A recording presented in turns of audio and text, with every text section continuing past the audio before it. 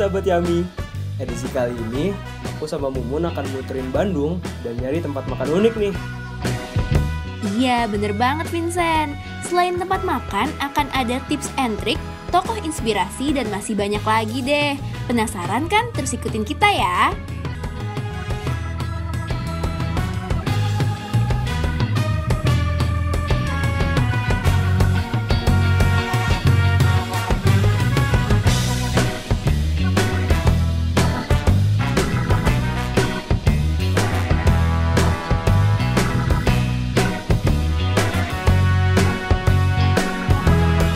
Jual bandros sama es potong. Beli dulu ah.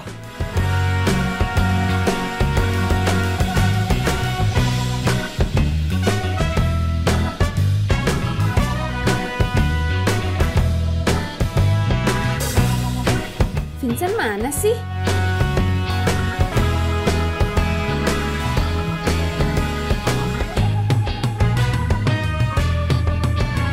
Di sini Mun Tadi gue habis beli bandros sama es potong Terus es potongnya jatuh ke baju gue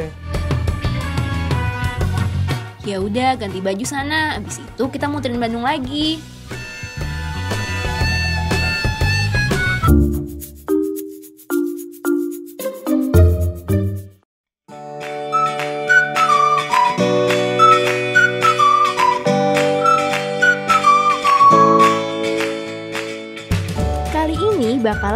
Inspirasi kafe unik yang bikin kalian semua berasa kayak di rumah sendiri nih. Saat masuk terdapat ruang tamu bernuansa vintage dengan ornamen-ornamen antik sebagai dekorasi di dinding ruangan. Selain ruang tamu, ada juga rak buku yang hampir memenuhi setengah ruangan lantai satu. Isinya komik dan novel yang jumlahnya kurang lebih 500 buku. Ruang tamu serta ruang baca ini dijadikan tempat pengunjung untuk menyantap makanan. Bangunan ini dinamakan Cafe Book. Pembangunan kafe ini mengadopsi konsep cafe book yang sudah populer di negara Korea. Di mana dia pengen banget memberikan suasana nyaman untuk pengunjung biar ngerasa kayak di rumah sendiri. ada referensi keluar gitu ya di Korea tuh kan banyak book cafe gitu jadi saya intinya memang pengen intinya tempat baca dan juga gitu.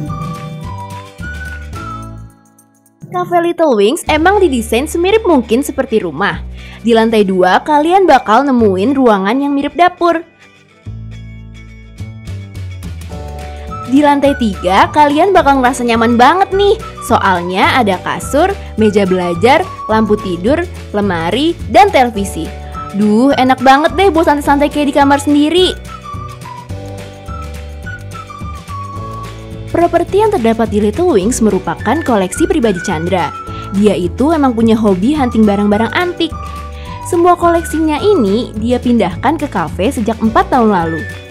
Selain properti yang mendukung nuansa vintage, Chandra juga rutin menambah koleksi bukunya untuk dibaca pengunjung. karena ini adalah buat pameran lukisan dulu jadi dulu dua tahun itu galeri galeri seni di situ galeri usaha gal- galeri turun berubah jadi toko buku terus sekarang jadi kafe Kalau kalian pengen ke sini, kafe ini buka dari jam 12 siang sampai jam 10 malam. Balik lagi di Yummy! Yuk makan bareng kami Nah Oke. Gimana Jadi, nih? Tadi kan kita udah sempat wawancara sama ownernya, kita juga udah keliling-keliling di cafe Little Wings. Aduh lapar banget gak sih? Nah, sekarang kan udah lapar nih, Iya. Vincent. Ternyata ada makanan di depan kita. Wow Kebetulan karena Nyem-nyem-nyem. karena di sini itu ada western food dan ada Asian food juga, jadi kita pesan dua-duanya nih. Ya, combine lah ya Iya. antara western dan Indonesian food Betul. Oke deh, kita langsung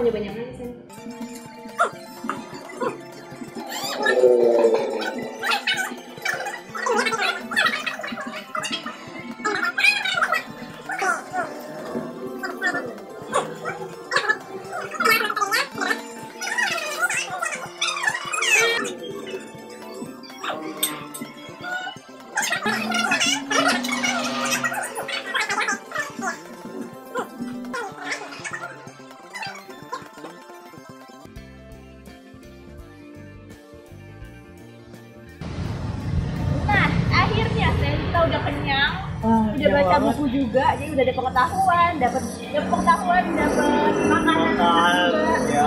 Dan tempatnya cozy banget ya. iya recommended banget sih buat kalian yang ada di Bandung Betul betul. Kalian kalau ke Bandung harus mampir ke sini ya. Jangan lupa namanya Little Wings.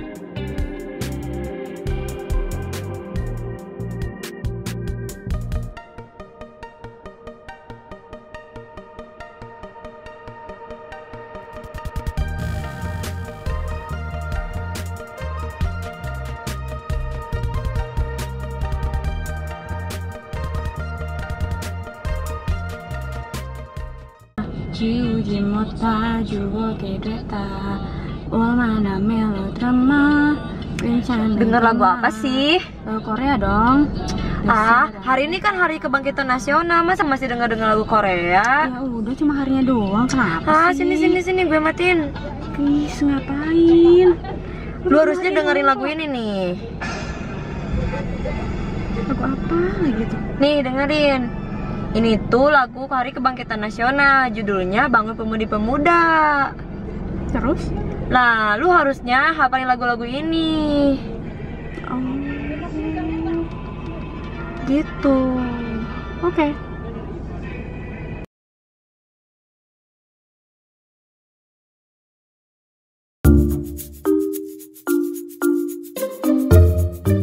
Halo sahabat Yami, sekarang akan ada tayangan inspirasi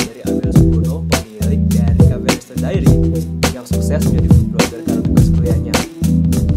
Resa tuh berdiri udah dari tahun 2004 sebenarnya awal mula adalah tugas sebenarnya. Tugas kuliah. itu waktu itu ada mata kuliah manajemen periklanan. Iklanan nah itu ada tugas eh, gimana kita buat apa memaksimalkan media gratis kan. Hmm. nah salah satunya kita pakai Instagram bidangnya kuliner. Nah kita pakai itu buat promosiin kafe-kafe yang dari Bandung gitu. Ya akhirnya sampai sekarang.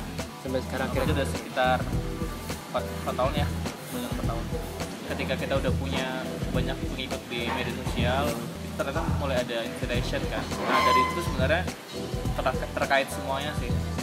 Jadi kita dapat undangan kita bantu promosi kita ikut event dan sebagainya. Kalau dari ketiga itu kita punya uh, tanggung jawab yang berbeda-beda Hmm. ya. Kalau saya ini lebih ke foto. Terus teman saya ada satu lagi Putri dia lebih ke uh, dealing ya lebih ke email admin admin admin gitu lebih dealing ke kafe kafenya gitu. Yang satu lagi yang satu lagi namanya Eca itu lebih ke masalah pengaturan waktu posting jadwal posting. Kalau awal-awal memang kita pakai dana sendiri sih. Seluruh makanan yang kita beli gitu ya sampai akhirnya kita dapat dapat undangan gitu itu semua kan uang kita sendiri kan. Kita makan kita beli kita datang kafe ini gitu kan. Cari makan makanan hit cari makan makanan yang kayaknya lagi orang pingin gitu kan. Itu semua pakai uang sendiri. Tapi kalau sekarang memang banyak bantuan dari kafe-kafe sih. Kalau itu sebenarnya lebih ke yang pertama kafe-kafe yang baru. Yang kedua itu kafe-kafe biasanya rekomendasi dari followers gitu kan. Kan nggak semuanya eh, kafe-kafe itu bisa kita tahu. Kadang-kadang mereka yang yang tinggal di daerah kafe tersebut kan. Biasanya dia ngasih tahu ke kita kak tolong dong review ini kafenya gitu kan. Nah biasanya kita eh, menuruti kemauan mereka kita datang ke kafe yang baru kita ke kafe sesuai rekomendasi mereka gitu kan. Dan satu lagi kafe-kafe yang berdasarkan inspiration gitu. Pasti banyak teman kan teman yang suka fashion gitu. Kita punya banyak teman food blogger. Dan selain itu punya banyak dari blogger yang lain juga fashion blogger kita pu- punya banyak kenalan gitu kan. Terus yang senang lagi pasti makan nggak pernah bayar kali ya. Kalau kita eh, besar kan di Instagram gitu kan baru kita mulai ke blog terus baru kita mulai ke YouTube kalau misalkan kalau sekarang kan cahayanya bagus nih ya kan? Nah sebenarnya kita bisa gun- gunain yang namanya natural light kan? Apa eh, cahaya natural dari matahari kan? Sebenarnya kalau misalnya foto makanan itu memang paling bagus adalah cahaya dari matahari gitu kan? Nah karena ini udah cukup cahayanya berarti kita bisa langsung foto nih. Nah yang pertama yang paling penting adalah kalau makanan udah bagus penataannya nih biasanya aku selalu kalau foto dari sudut sini, ya aku selalu memposisikan benda-benda yang terlihat lebih tinggi lebih besar di belakang.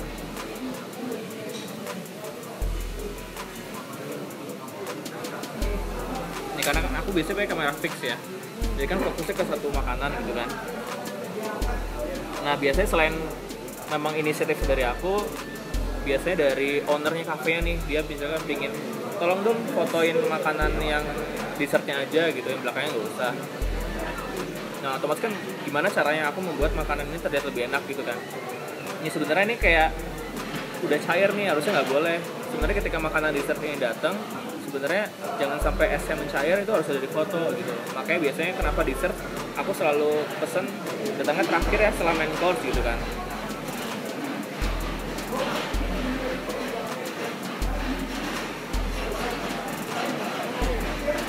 pertama itu, terus kemudian em, sebe- sebenarnya masalah teknik foto sih. Teknik foto kan ada ada dari atas, ya kan, ada dari sudut sudut normal, ada dari bawah.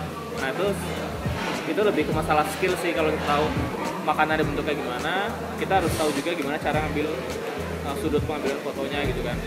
Nah kalau misalkan kita pingin fokus ke ini waffle, ini kan waffle kan nggak begitu tinggi kan, Nah kita bisa kita bisa buat si waffle ini terlihat lebih tinggi dengan jarak dari bawah mungkin sekitar uh, sudut sudut 0 sampai 30 derajat kali ya.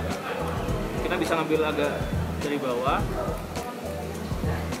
supaya si waffle terlihat, terlihat lebih tinggi. Nah yang paling penting si background ini harus terlihat penuh.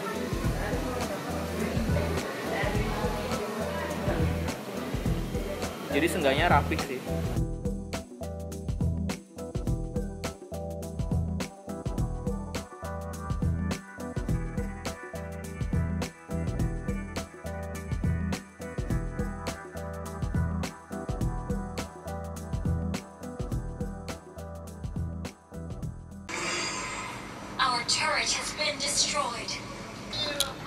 Cuk, tengah cuk. Ya yang bentar nih, gue turun nih. Our turret is under attack.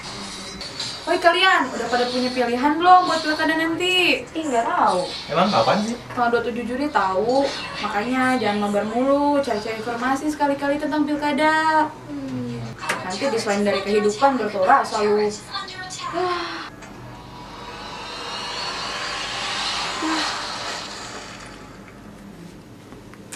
Ya ya.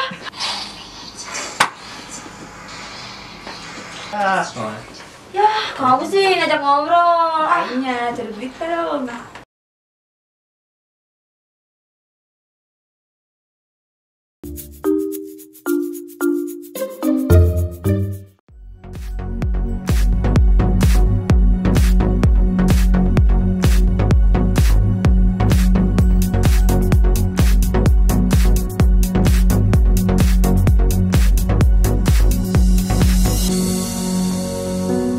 Halo sahabat Yami. Mun, sekarang kita lagi ada di mana sih? Sekarang kita lagi ada di Cingu Cafe. Oh, Cingu Cafe. Cingu itu artinya apa ya? Cingu itu kalau dalam bahasa Korea artinya teman. Berarti kita lagi ada di restoran Korea ya? Betul banget. Wah, makan-makan lagi dong. Iya, makanya nih pasti teman-teman pada penasaran banget kan kita mau makan apa aja, menunya ada apa aja. Iya. Makanya terus sama kami ya di Yami, yuk makan bareng kami. Halo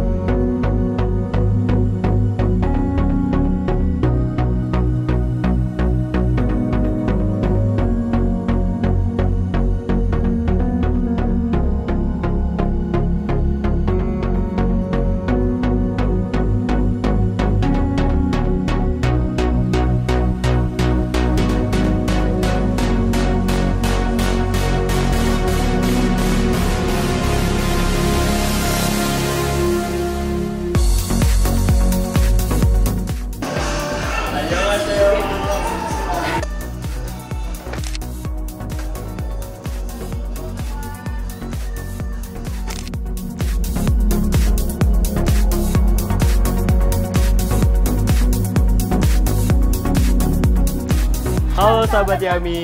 Nah, tadi kan kita udah bilang nih kalau kita udah lapar Hmm. banget. Terus tadi kita juga udah pakai handbook dan sebagainya Iya. kan. Nah, akhirnya sekarang udah ada makanan di depan kita. Makan-makan. Nah, dan pastinya makanan ini semua makanan Korea dong ya. Enak banget nih pastinya. Betul banget. Jadi tadi kita pesen apa aja nih, San? Kita ada Wu Samgyu Chadolbeji, Lalu eh, aku juga pesen cheese bokumbap. ada bibimbapnya juga, Nah, Terus? kita dan minumnya. Oh iya, minumnya kelupaan. Dan satu yang unik di sini itu minumnya itu ya nama-nama musisi boy band, girl band Korea loh. Betul banget. Jadi nama-nama idol group Hmm, ya. betul, idol group. Korea. Kayak aku nih sekarang pesennya Exotic Kids. Ini pasti buat eh, yang suka EXO pasti tahu banget lah Exotic Kids. Kalau aku pesennya Blackjack Fire itu buat kalian yang Blackjack yang suka 21. Ya betul banget. Nah sekarang kita masak aja langsung ya barbeque-nya. Kamu bisa masak kan ya? Ayo kita masak bareng. Bisa dong.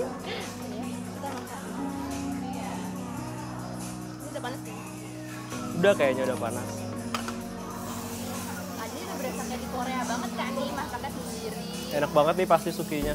Pasti buat eh, buat kalian yang pecinta drama Korea atau ya pasti Iya, pasti wajib sering banget wajib ya sih? banget buat datang ke Dan pasti restoran kalian sering banget lihat kalau di drama-drama Korea ada yang makan-makan barbeque kayak gini. Suki.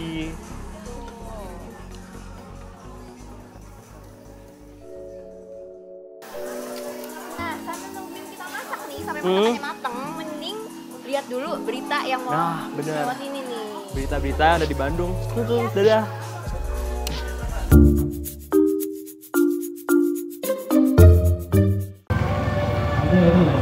Dalam rangka program Citarum Harum, KONI Jawa Barat dan Persatuan Olahraga Dayung Seluruh Indonesia atau POTSI Jawa Barat menyelenggarakan Festival Dayung yang berlangsung selama tiga hari mulai tanggal 13 sampai 15 April 2018 di Sungai Citarum, Pojong Soang, Kabupaten Bandung.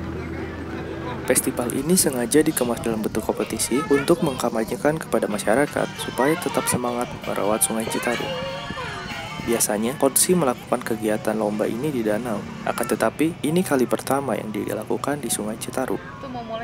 Sebanyak 312 atlet dari 10 kota dan kabupaten se-Jawa Barat mengikuti lomba dayung ini. Adapun kegiatan yang dilaksanakan selama tiga hari ini adalah susur Sungai Citarum, lomba Dragon Boats yang meliputi dua kategori pertandingan, yaitu peserta dengan jumlah 22 orang dan peserta dengan jumlah 12 orang. Lalu ada pula lomba kano, slalom, dan kayak.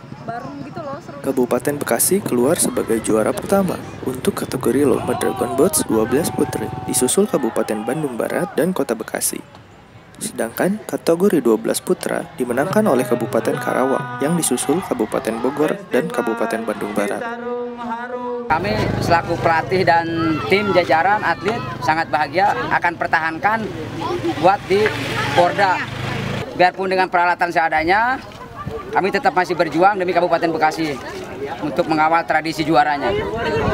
Progres program Citarum Harum ini, menurut Komandan Sektor 6 Kodam 3 Siliwangi, Kolonel Infantri Yudi Zanibar masih dalam tahap edukasi kepada masyarakat karena dananya belum turun. Namun, masyarakat sudah sangat mendukung program Citarum Harum ini. Acara ini adalah bagian rangkaian dari kegiatan Citarum Harum dan sungai ini yang tadinya dibilang terkotor di dunia yang pada akhirnya kami membuktikan kepada masyarakat bahwa dengan uh, kegiatan yang ada saat ini bahwa Citarum tidak kotor-kotor amat tapi sudah rada bersih dan kemudian sudah bisa dipakai kegiatan aktivitas uh, olahraga antaranya adalah olahraga dayung. Progres Citarum Harum yang tiga bulan sekarang sudah bagaimana mengedukasi masyarakat, masyarakat sudah mau uh, menyimpan sampah di tempat-tempat sampah. Namun sarana dan prasarananya belum ada, jadi akhirnya kami masih menunggu dari pemerintah daerah, tapi kita selalu bersama-sama masyarakat dan ada juga mahasiswa, ada seluruh komponen yang ada bagaimana mengedukasi masyarakat. Haipam Melati, Kabupaten Bandung, Jawa Barat. Badan Eksekutif Mahasiswa Universitas Pajajaran menyelenggarakan Festival Sambal Nusantara yang bekerja sama dengan 30 paguyuban daerah di Universitas Pajajaran pada 4 April 2018. Festival ini menyajikan berbagai macam sambal dari setiap daerah, sehingga seluruh mahasiswa UNPAD dapat mencicipi berbagai macam sambal tanpa dipungut biaya. Pengunjung tidak hanya dapat mencicipi sambal, namun terdapat pula pembagian tahu, tempe, hingga es krim yang semuanya bisa didapatkan secara cuma-cuma. Acara ini dimeriahkan dengan peragaan busana dari setiap paguyuban dengan menampilkan pakaian adat dari asal daerah masing-masing. Uh, sebetulnya tujuan dari Festival Budaya Pajajaran ini akhirnya pengen ngembangin aja potensi-potensi yang ada di paguyuban-paguyuban karena nggak ada acara di Unpad yang apa ya yang bikin semua paguyuban ngumpul di satu titik. Makanya kita pengen ngumpulin semua paguyuban di satu titik. Setiap daerah itu punya sambal yang berbeda-beda. Walaupun dekat kayak Jatinangor Bandung itu pasti dia punya sambal yang beda. Acara ini merupakan acara perdana yang digagas oleh BEM Kema Unpad. Uh, kepo aja sih sama rasa-rasa sambal yang ada di daerah-daerah. Penting banget apalagi kayak ngenalin budaya makanan ke orang-orang itu. Siti Anissa, Sumedang, Jawa Barat Maraknya perjanjian izin tambang pada masa pilkada serentak di Jawa Barat patut dicurigai sebagai praktik ijon politik. Menurut Ki Bagus Kusuma, Kepala Divisi Simpul Jaringan dan Belajar Jaringan Advokasi Tambang atau Jatam pada jumpa pers bersama Walhi Jawa Barat yang diselenggarakan di Jalan Tirta Yasa, Kota Bandung, 11 Maret 2018, Dugaan tersebut muncul berdasarkan terbitnya 34 surat izin usaha pertambangan atau IUP pada 31 Januari lalu, tepatnya dua pekan sebelum calon kandidat gubernur Jawa Barat ditetapkan. Serta terdapat 263 IUP yang sudah habis masa izinnya pada November 2017. Lonjakan izin tersebut terjadi ketika masa sebelum dan sesudah masa kampanye. Diduga adanya perjanjian politik antara politisi dengan para pengusaha tambang. Menurut Dedan Ramdan, selaku Direktur Walhi Jawa Barat, mengatakan pertambangan telah memberikan kontribusi pada menurunnya kualitas lingkungan, yaitu hilangnya tutupan hutan, menurunnya kualitas air dan udara. Indeks kualitas lingkungan hidup di Jawa Barat terus menurun dengan nilai 43 yang memposisikan Jawa Barat di peringkat ke-30 dari 33 provinsi di Indonesia. Menurut Ki Bagus, solusinya adalah hukum harus ditegakkan dan kandidat pilkada harus memberikan jaminan untuk melindungi lingkungan.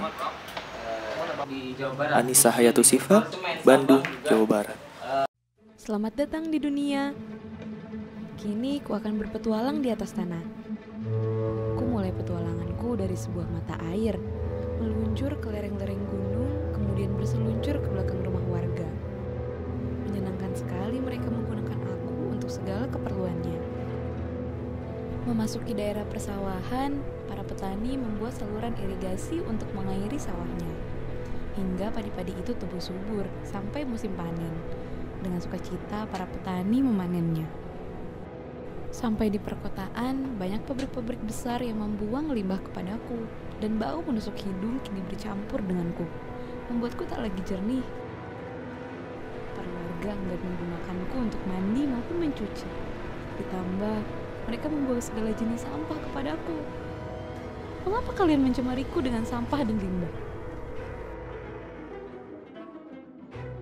Kini, ku bukan sungai yang sehat dan jernih lagi tubuhku dipenuhi penyakit.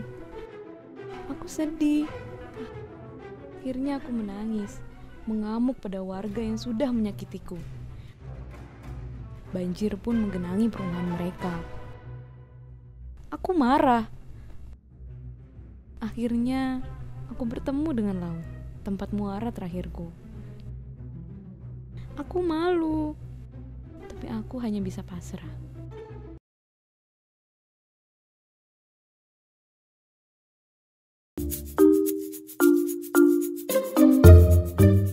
Langsung makan yuk. Kenapa? Makannya bukan kayak gitu. Oh, terus gimana dong? Nah, nih, pasti yang buat teman-teman yang suka nonton drama Korea tahu cara makannya kayak gini. Jadi ambil selada, Hmm. ambil selada satu. Terus dagingnya ini tinggal kalau misalnya suka pedas bisa cocok pakai sambelnya. Ah, Terus ditaruh di seladanya. selada. Kalau misalnya suka bawang putih bisa juga tambahin bawang putih. Oh, aku mau dong cocol Coba sambelnya. coba coba coba.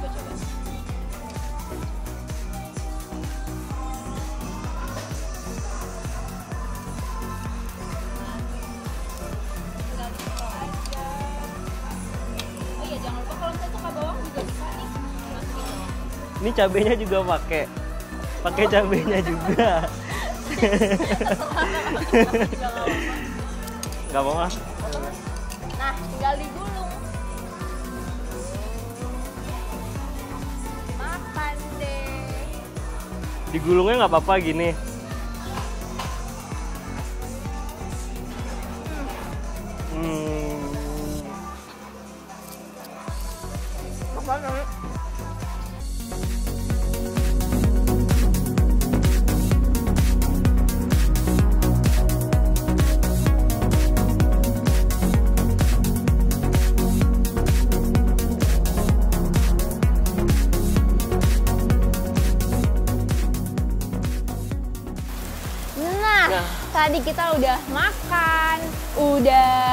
Pakai cicip, handball. dessertnya juga. Udah pokoknya enak banget lah. Terus sekarang kita penutupannya beli ini nih. Iya. Mm-mm. Jadi Hmm. enak nggak? Ah, mana? Jadi pastinya Tetap bak- ikutin kita Heeh, terus Karena kita bakalan cobain makanan-makanan lagi yang pastinya enak. dan tetap harus ikutin kita. Ya, dan masih di Yummy. Yummy. Yuk, makan bareng kami